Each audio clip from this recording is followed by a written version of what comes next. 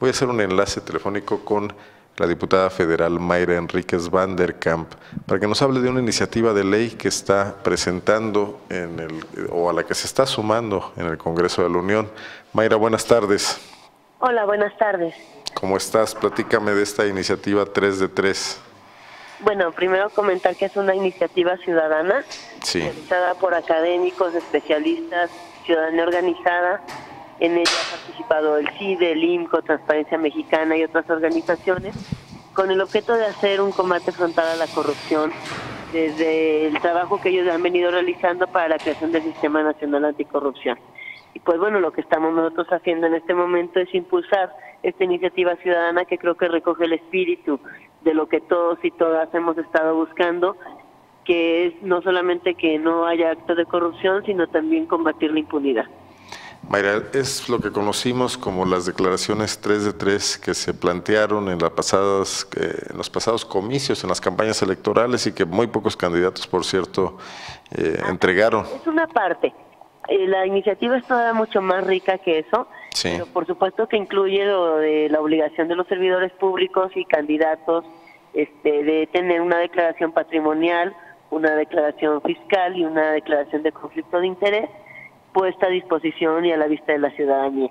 Esta es una parte de la que contiene esta ley de responsabilidades, pero también me parece importante destacar que esta iniciativa recoge algo que se ha venido reclamando y que hemos observado a partir, por ejemplo, de los escándalos de la Casa Blanca o en el caso de León, por ejemplo, con el tema de la recolección de basura. El determinar que también los particulares forman parte de esta red de corrupción y que también tendrían que ser sancionados.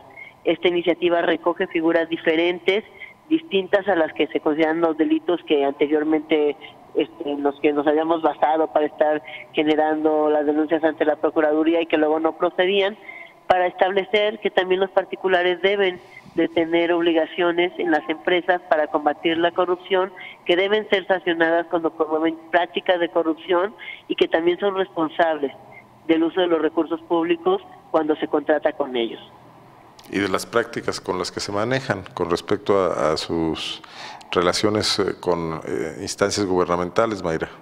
Así es, por ejemplo, quiero mencionar el caso de la recolección de basura en León, donde sabemos que se pagó un sobreprecio que nunca estuvo justificado y que venimos pagando los leoneses y las leonesas. En este caso, por ejemplo, con esta ley, si hubiera estado vigente, hubiéramos podido determinar que también la empresa forma parte de una red de corrupción que está recibiendo un recurso público que no, no era regular que recibiera, que no era lícito que estuviera recibiendo y además establece obligaciones, por ejemplo, tener investigación de precios de mercado para que se hagan las comparativas y no tengamos este tema de las obras con sobreprecios, precios inflados, este, entrega de concesiones, en fin, un sinnúmero de figuras que se han venido utilizando para sostener el recurso público de las arcas municipales, estatales y federales y que pasan a parte de los particulares.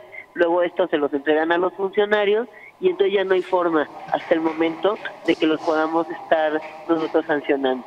Con estas figuras que se están proponiendo se cierra mucho más el cerco y se habla de las redes de corrupción.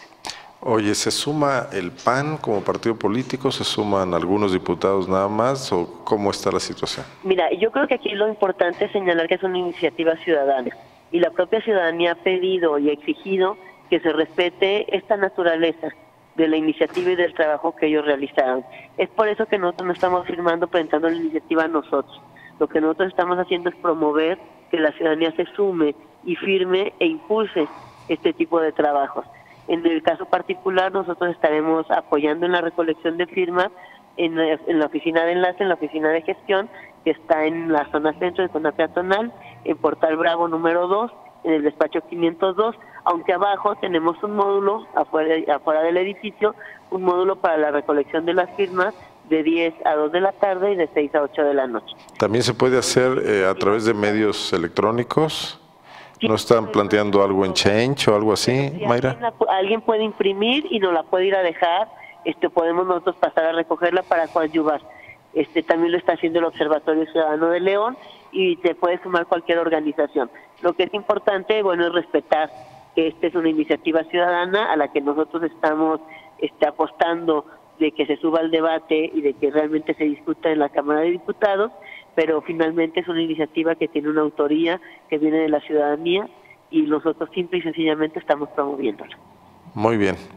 Mayra, podemos estar atentos a la suerte de esta iniciativa y sobre todo de, que se sumen ya también representantes de la clase política, como es tu caso. Así es, y bueno, cualquiera que quiera firmar, están puestas ahí las hojas para la firma y si alguien necesita que les entreguemos los formatos para que también las recolecten en su organización, en su universidad, bueno, nosotros se las llevamos y nosotros mismos las podemos hacer hacer la entrega acá en el DF. Además de esto, se hará labor en la propia Cámara de Diputados para abrirle un espacio en la agenda. Claro, hay, hay una mesa, hoy se instaló la mesa del Senado, la mesa de la Cámara de Diputados lleva una semana y obviamente hay un compromiso de los grupos parlamentarios de que si no hubiera una recolección de firmas, pues se suscribiría para llevarla al debate. Sin embargo, creo que la parte más interesante de todo este ejercicio es que es un trabajo donde la ciudadanía pasó reclamo y indignación a la acción y creo que esto es lo importante de apoyar. Muy bien, muchas gracias Mayra. Muchas gracias, hasta luego. Estamos pendientes de esto. La iniciativa 3 de 3, eh, un intento para ah, eh, sumar herramientas, diría yo, en el tema del combate a la corrupción. No todo es el Sistema Nacional Anticorrupción que ha presentado el gobierno federal y que para muchos deja todavía mucho que desear.